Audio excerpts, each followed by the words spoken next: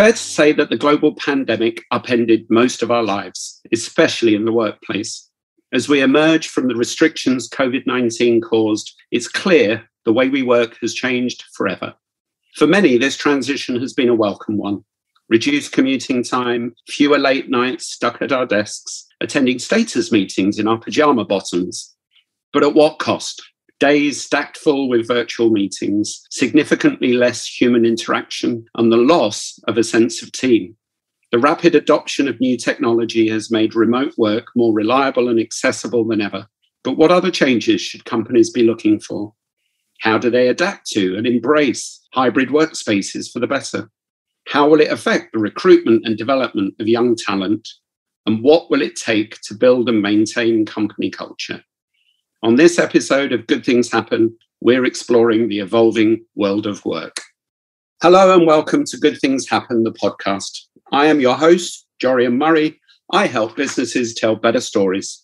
Today, I'm joined by two wonderful Citi people with expertise and insight into the working world. Naz Vahid, who has served the legal industry with banking and investment services for over three decades at Citi. She now heads up a global wealth management team that's dedicated to serving individuals and their firms from a whole range of elite professions. Scott Stimpfel, formerly an investment banker, he entered the world of academia, which he still does part time at the NYU Stern Business School in New York. And his day job is running HR for Citi Institutional Clients Group's Business Solutions team.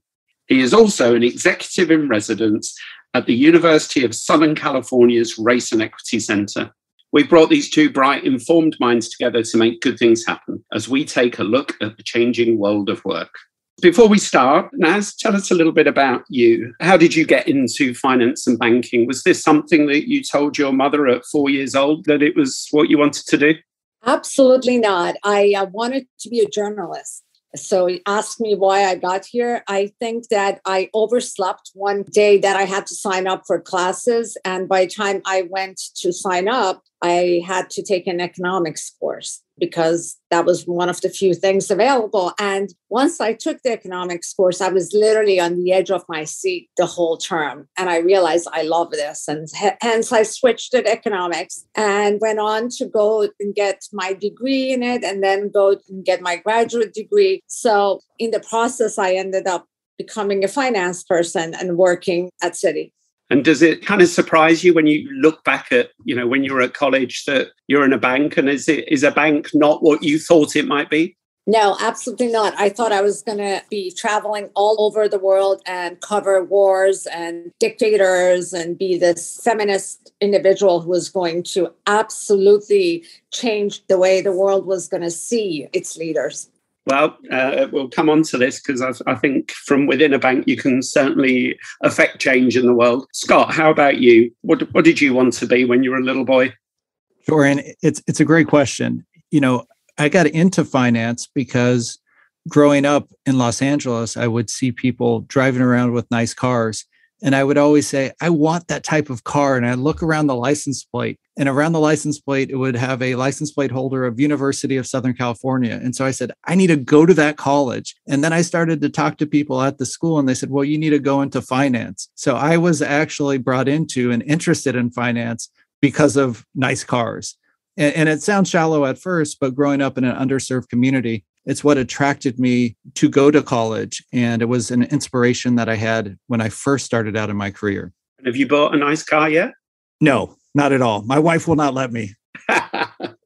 Very good, very good. So uh, I think it's fair to say, without any sense of hyperbole or exaggeration, that the last two years have been the most disruptive that any of us have experienced, but particularly with the world of work. Now, let's start with you. You run a, a big, amazing team, big offices, offices all over the United States. What were your fears two years ago when lockdown was happening? Were you worried that suddenly the world was going to stop? Oh, absolutely. I mean, look, I have been somebody who's grown up working in an office environment, thinking that the only way we can do well by our clients is to serve them together in an office environment. And the day we went in, I remember we are going to go off for two weeks and we we're going to beat the curve. And, you know, here we are two years later. I thought, how are we going to manage this for two weeks? You know, how are clients going to do it? And are we going to be productive? And here's the most amazing thing today the Naz that would have said to you there are jobs that could never be done from home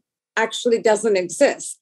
I have realized our people worked from home, they were extremely productive, and it was a different way that we communicated with clients and each other. So it's funny, what was my fear actually turned out to be a blessing. And we did really, really well in many levels over the last two years. Scott, I'm sure you agree with that, and you would have heard this time and again. What do you think happened from a kind of almost a psychological point of view? What was it that made people react and become so much more productive, do you think?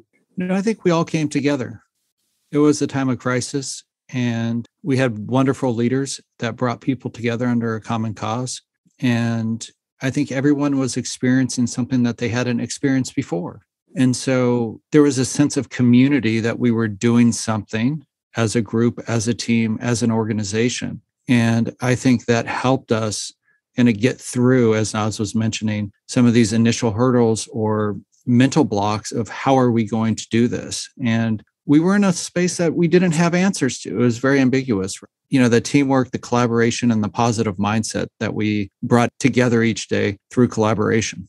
And obviously, technology or the adoption of technology has accelerated enormously. We're conducting this podcast through Zoom. I'm looking at you through my computer. We're sort of well used to doing this now. So there have been many advantages with the changes, but what might we have missed being kind of separated, albeit we are connected by video conferencing, Naz? You know, it's interesting. We've hired a lot of people in the last two years. And I always, as a manager, was proud of myself for getting to know people, getting to know them beyond like their resume and where they went to school and what they studied, but more as who they are, what makes them happy. You know, somebody we had hired two years ago has aspiration to be an actress. And I like that about her. And I wanted to know that. So we missed some of that as a conversational piece. We also really missed learning from each other. I learned as a more junior banker how to speak to clients by listening to more senior bankers around me in a real situation. So I was worried. And at times, I'm still worried about the loss of ability to be an apprentice in this situation for each other. You know, how we deal with that going forward, it's going to be seen. And we're all going to take different tasks and ways to get to the right answer. I'd love to get your perspective with your academic hat on. I know that you teach graduates, undergraduates, and what do you hear from them that they're looking for from the world of work in the way that we would never have dared think about when we were first starting out? I think a lot of the things that we look for as professionals, graduates now still continue to look for. They look for a sense of community, they look for the connection to people. It may just be done a little bit differently. So, as Naz pointed out, how do we continue to develop people? And that's a big part of someone who's graduating from school. And I reflected this morning on my son came to me and he said, Dad, I want to learn how to ride a bike. And Jordan, the first thing I did was I went out and bought a bike with training wheels. And that's because that's how I learned how to ride a bike.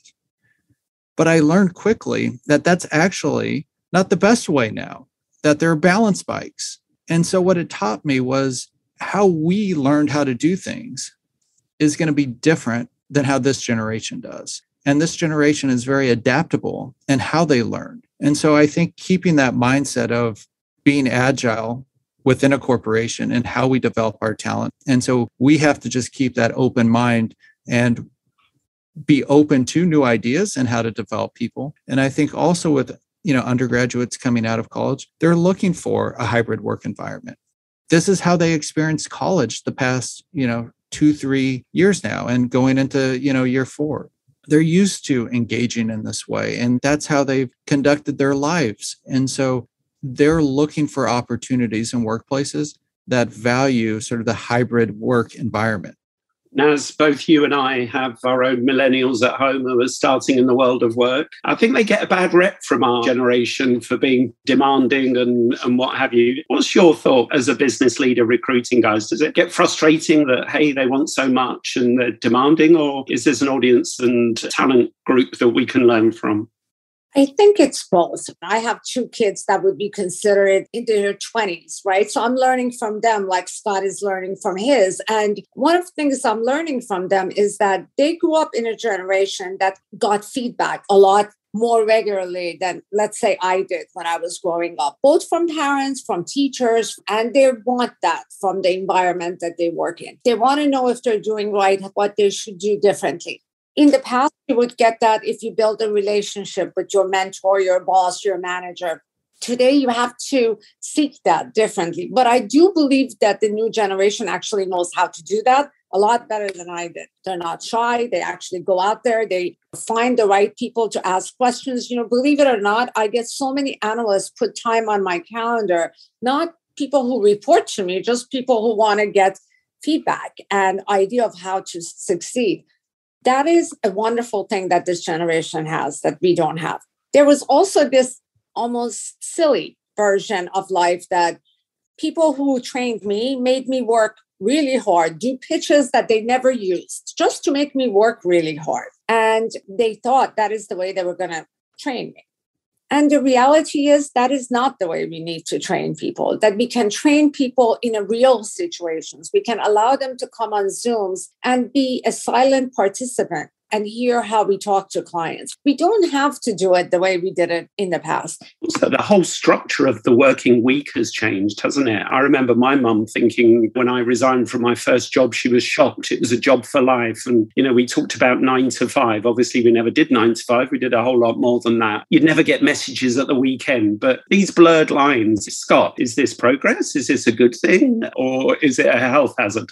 It could be a health hazard if we don't monitor it and we're not intentional. And I think we have to be mindful of keeping a balance in our lives. And so, as organizations, we have to think about, and especially as leaders and managers, when do we have conference calls? You know, when can those start? You know, there used to be a time, Dorian, where we would commute into work, and that was time, that was free time for our minds to kind of have that space between home and work where we could collect ourselves. And now conference calls start at 6 30, 7 a.m.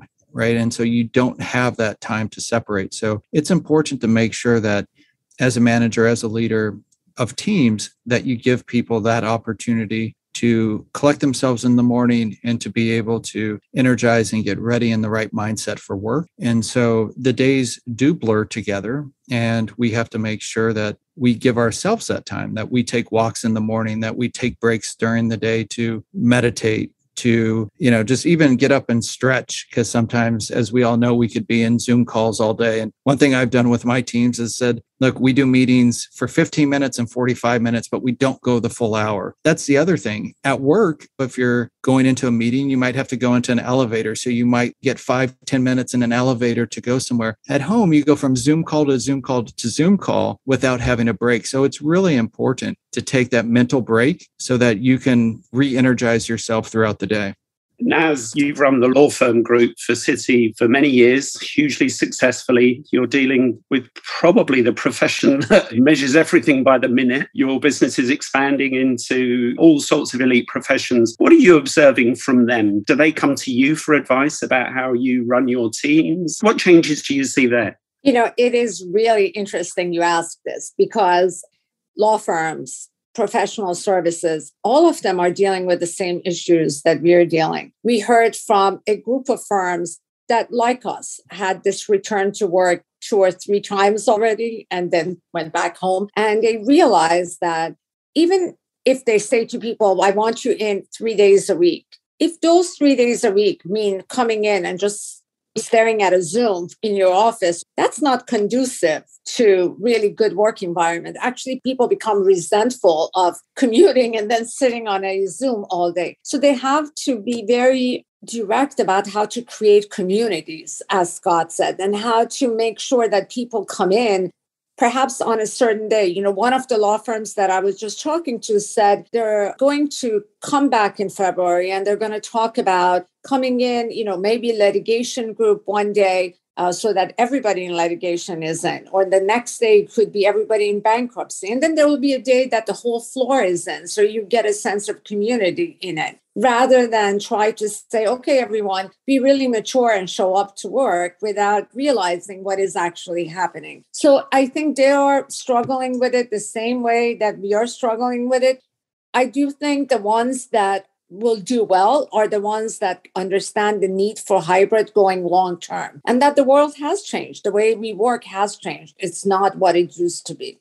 And in the world of professional services, of which banking is a part, rationally, a lot of businesses do the same thing as their competitors. But what really marks a company out, differentiates a company is culture. Culture is so different. Are we in danger of losing that culture or diluting that culture, Scott? And if so, what can we do to maintain it or build it? Well, I think maintaining a hybrid environment where people still come into the office because culture right is your shared beliefs your shared values it's being able to connect with other humans right face to face and being able to engage and so i think doing that sort of engagement intentionally, as Naz alluded to, is so important and making sure that we set up opportunities for people to engage. And if we continue to do that, our culture will continue to thrive. But we have to be intentional with what we do from a hybrid work perspective.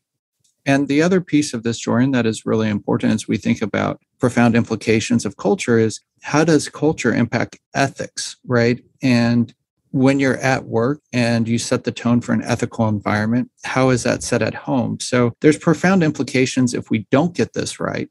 But I think the path that we're taking and the intentionality that we take with our decision making, I don't think we're in danger of losing culture. I think what we're going to be doing is building onto a already strong culture and adapting that culture as we move forward. And as I can see you nodding furiously, what would you add to that? And in your answer, maybe talk to us about do you think Citi's got the kind of culture that can readily adapt to these changes?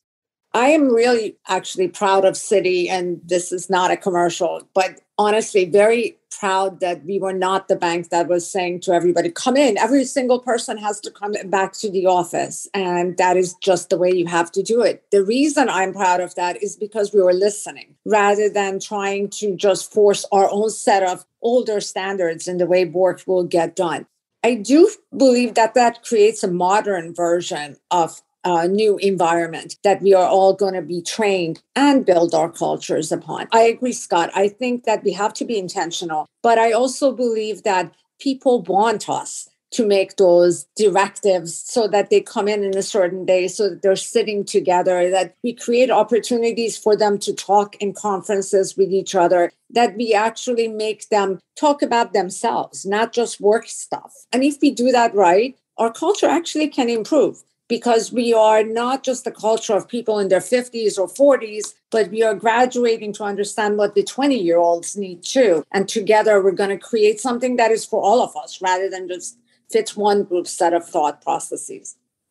Lovely. It kind of brings me neatly on to another area I'd like to open up in this discussion, which is I guess it's commonly called diversity, which can mean many things. Uh, Naz, I have had the absolute pleasure, and I'm not sucking up, I've had the absolute pleasure of working with you and your team, which is easily the most diverse culture I've ever seen. And it's so harmonious. So when you read about and hear about, hey, we've got to move to more diverse cultures, you must raise one eyebrow because I guess you've always had that. You know, it's interesting and it has happened a little bit naturally because we always talk about how we have to mirror our clients, and our clients are trying to become more diverse the same way we are. We are realizing it's not just saying it, that we are more successful, we are more profitable if we are, have a diverse environment. But to make it happen, you have to be intentional about the way you hire. You have to be intentional about the way you train let's be very honest. If you come from a underrepresented group whether it's from an economic point of view or a culture that necessarily did not have very formal dinners and lunches with clients you have to teach people certain things. And if you do it in the route of i want you to be successful not that you have it wrong it's really important. I will also tell you you know there was an example of somebody just interviewed for a job with us on zoom. So they were from an African country and they had worn a very colorful outfit. The person who later was talking to me said to me, she was really smart, but she was dressed like a rainbow almost. And I said to myself, well, that's because when you want to make a strong comment, you actually in African culture dress in red and pink. And so she was trying to show her confidence. And the person just took, sat back and said, Oh, I didn't think about it like that. And all of a sudden, you're changing the way you looked at an interview. Who cares what she was wearing? Who was she? And did I like what she said? So that is how intentional you need to be sometimes about it and make sure that your biases do not get in the way of helping them. And when people come in, you got to guide them a little bit to make sure that they fit in not that they have to change themselves, but they understand the structure of the business they're coming into. I hope that makes sense. No, it makes absolute sense. And talking of uh, diversity in terms of apparel, we have Scott in his splendid bow tie today, which uh, always makes me smile. Scott, you once said to me that the war for talent has been talked about for years, but is really on now. And diversity is very much at the heart of this. And I, I don't just mean it's, it's diversity of where you get people from. Talk to us about that we we've talked about the war for talent for many years, but it's at our doorstep now. We we feel it as leaders and as managers as we're looking to bring in talent into the organization. We have to look and engage in communities and in universities and institutions and places where we may not have traditionally engaged before. And this is because there's so much great talent out there and it's incumbent upon us, as Naz mentioned, to have a diverse workplace because it's going to result in a better company at the end of the day, a company that can provide better solutions to its clients. And so we must, as an organization, engage with and engage in areas that we haven't engaged traditionally before. And we have analytical tools now, technology to be able to do so. And we are now increasing the, if you want to call it a pipeline of areas where talent can come from. And I think this is going to continue to change over the years as we look to bring in talent from, you know, we're a global company from all areas. And I think we're going to continue to be able to do this given the technology enhancements that we have, given the data enhancements that we have, that we're able to open opportunities to others. And I would just highlight what Naz mentioned about being able to bring people into the organization and it's a responsibility to give and empower people with that professional capital and the social capital to be successful in the organization. If we all come from different places, we're not all going to have the same information. So it's incumbent upon all of us to have the responsibility to share the professional capital and social capital knowledge that we have with those coming into the organization to make sure that they're successful. I'd love to open this up. I came from the world of advertising in the UK, and you know when we did our graduate recruitment, the same agencies were chasing the same people from Oxford University or Cambridge University, and it almost became a competition to get the best people who were like cookie cutter. But I know Scott that you feel very strongly about this. That you know banking had a similar kind of pipeline, but you're looking to really open that pipeline, aren't you? And how do you do that? What are the challenges? Is it presenting a bank to different sorts of people? Or is it getting your organization to understand that talent can appear in many forms and come from many different sources? I think it's both. You know, I, I came from community college. I went to Pasadena City College and transferred to the University of Southern California. And when I was in community college, I had never heard of an investment bank. I didn't know what it was. I didn't know there were careers possible in an investment bank. And so I think as we reach out to communities and as we reach out to universities where we haven't typically had a pipeline from talent, we're going to have to educate about what those opportunities are within the organization. And I think if we do so, people are going to find out that, wow, this is a great place to work. There's really talented people. They do really interesting work. It's global. And so as you think about, you know, our organization and thinking about the opportunities that we have to offer, it's really about educating people about what those opportunities are and then also educating internally our leaders and talent and, and opening eyes right and minds around where talent can come from. Because to your point we don't need to always go to the same places for talent. Uh, now as i can see you nodding furiously again. Tell us your thoughts on this. I just could not agree more You know, if I look at my workforce, some of my best, best bankers and best individuals have come in from uh, probably what we would have not considered the school of choice, but they are the top of that other school that they came from. They work really hard because they take the opportunity as a gift and they're willing to learn. Just their attitude is completely different.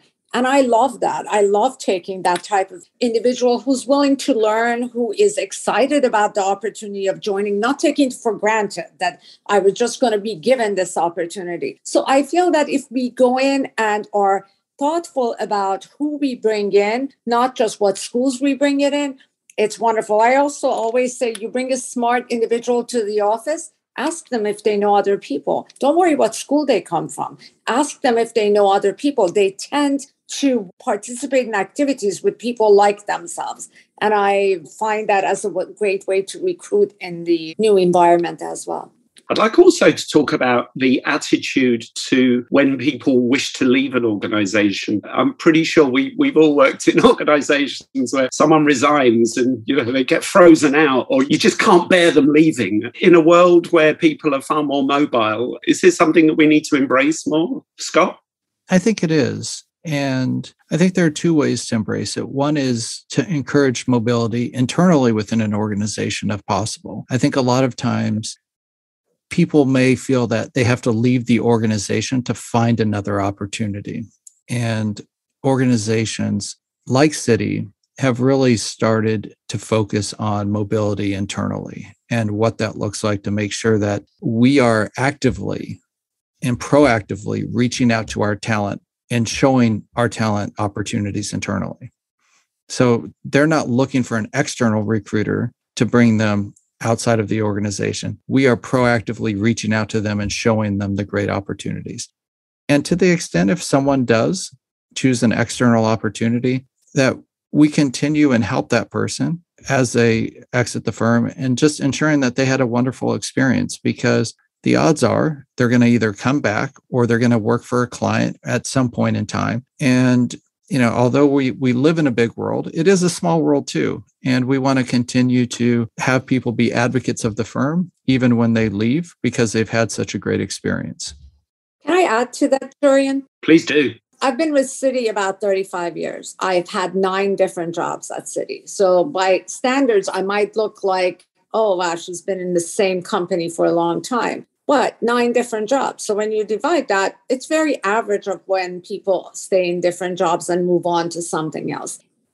I have to say i've been lucky that there have been managers that have looked out for me. So when i was looking to move as scott said or was bored with a job they created opportunities for me. And that has all happened for me in this one company not different ones but i also want to go back and say that when people resign a lot of times is because they're not getting fulfilled or they're looking for something that they don't see in our company.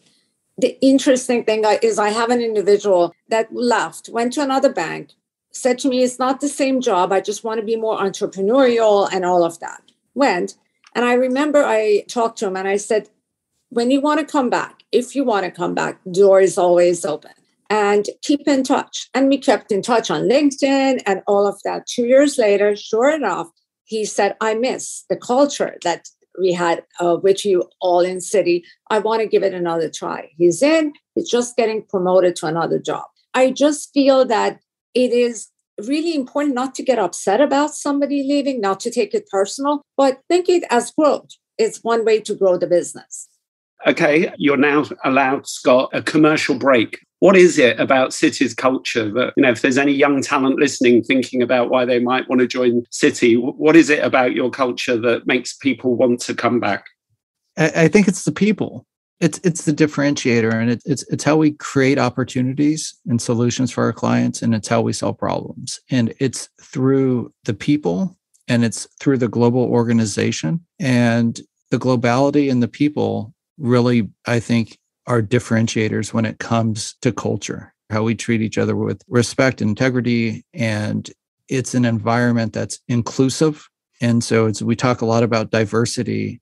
It's not just having a diverse community and diverse teams, but also being inclusive of those team members and inclusive of ideas And I think that's what makes the culture at Citi so rich at the top of this conversation, I talked about extraordinary changes for all of us in the last couple of years, and it's only going to accelerate. Are you both excited by these changes? I mean, it's it's tiring. Let's be honest. Sometimes it's tiring, isn't it? You've got to learn a new technology and what plug goes into where and what have you. But broadly, Scott, are you are you excited about the, the, the challenges that that face you in terms of building culture and building teams and recruiting talent?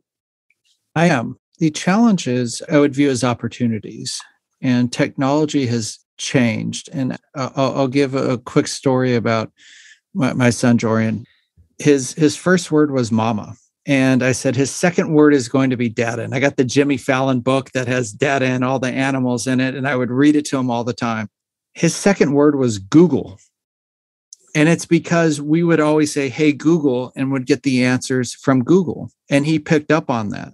And he continues to this day to go to Google for answers, you know, looking for results. And what is so interesting is how environments and how people have changed, right? And so as my son is is young, but as he starts to enter the workforce, we have to think about what that workforce is going to be not only right now because the future of work is right here right now, but also what is it going to be in 5 years and 10 years?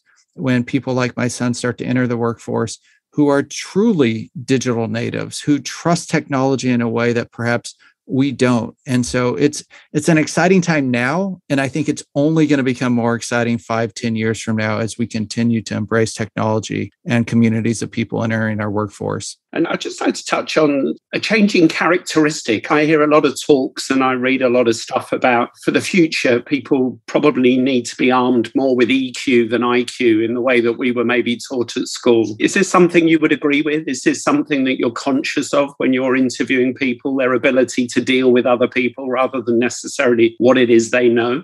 Which brings me neatly on to a kind of a, a closing question I like to ask in these podcasts. Our next uh, subject, we're going to be discussing innovation. So, by way of trailer for that, but also I'd like your first thoughts on innovation. It's a word that gets so overused, in my opinion. But what, what does innovation mean to you? I'll start with you, Naz. What do you think innovation means?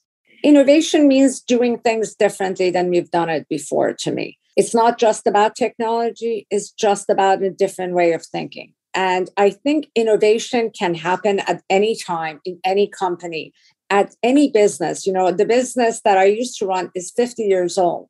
And if we don't innovate ourselves all the time, we're never going to be at the top of our game. So I don't believe that innovation belongs to a certain group or a certain generation. I think it's continuous and owned by all of us in the business. Scott?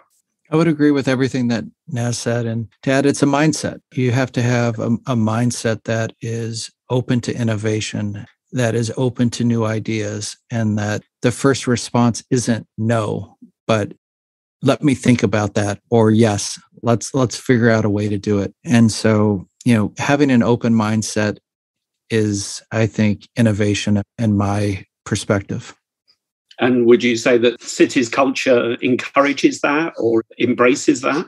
I believe so. It challenges us to have an innovative mindset, to challenge each other to be open to new ideas, to be open to new perspectives. And I think the more, going back to Naz's point, the broader community and family and diversity that we have within our Citi community, innovation is always going to be something at the forefront because we're going to have to continue to challenge each other with new ideas and new ways to solve problems and to create opportunities for our clients. So, summing up this whole world of work, is there anything that we've not discussed when you were preparing your thoughts coming on today? Anything to do with the changing world of work that you would like to add?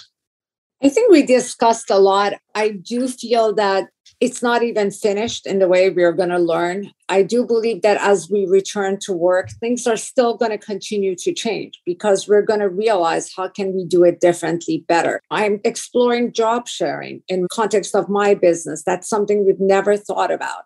But if there are jobs that are going to be remote, why couldn't we do job shares and do it longer during the day in front of our clients? So let's come back and innovate and be open. One thing I want to say is Zoom actually made it easier for people sometimes to tell me what I can do better, people who are more junior than me. And I feel that without it, we're never going to be the best that we can possibly be. I really appreciate the fact that somehow it made it easier to just say what wasn't working. So I hope that continues as the new environment settles in as well. What a great way to finish. I've so enjoyed this conversation. Thank you so much for being our guests. And good things really do happen when you get bright minds together. Thank you. Thank you. Thank you. The views expressed herein are those of the speakers and do not necessarily reflect the views of Citi Global Markets Inc. or its affiliates. All opinions are subject to change without notice. Neither the information provided nor any opinion expressed constitutes a solicitation for the purchase or sale of any security. The expressions of opinion are not intended to be a forecast of future events or a guarantee of future results.